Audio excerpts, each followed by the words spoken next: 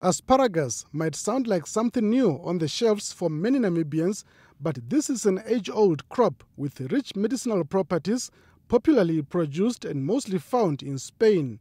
The Etunda irrigation farm in the Omusati region will now be home to this new product. When our news team visited Etunda this week, a team of experts from Namibia, South Africa, and Spain were busy preparing the land. We are preparing compost for the production of asparagus. What we call at this stage, the, the, the name of the project is Ochimbele Agri. So we prepare this compost for the manure that, that we're going to use for planting the, the, the asparagus.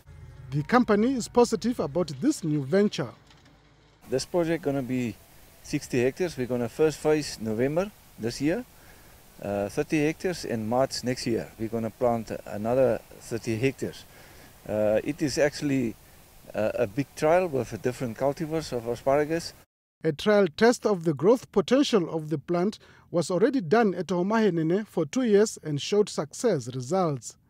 An agency in charge of the green scheme projects in the country, Agricultural Business Development, AgriBusDev, has entered into a private-public partnership with the Spanish company. AgriBusDev Managing Director Petrus Uugwanga is also very optimistic about the asparagus project. Our green scheme policy make provision for diversification of, uh, of, of producers. As I said, typically we can grow maize, wheat, watermelon and other things. But here is the true sense of diversification of produce in action.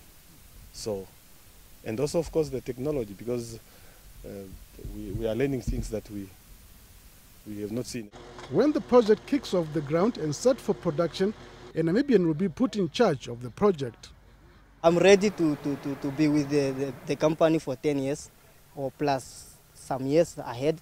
And uh, I feel proud of to become a manager. It's not quite easy, but I try my level best. It was difficult at the beginning, but as you can see, we are busy with preparing the, the, the soil. We are busy with soil preparation now.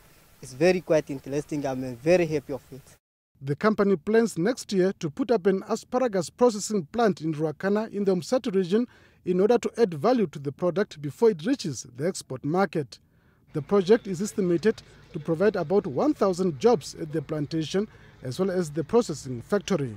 Jeff Tashihumino, NBC News, Windhoek.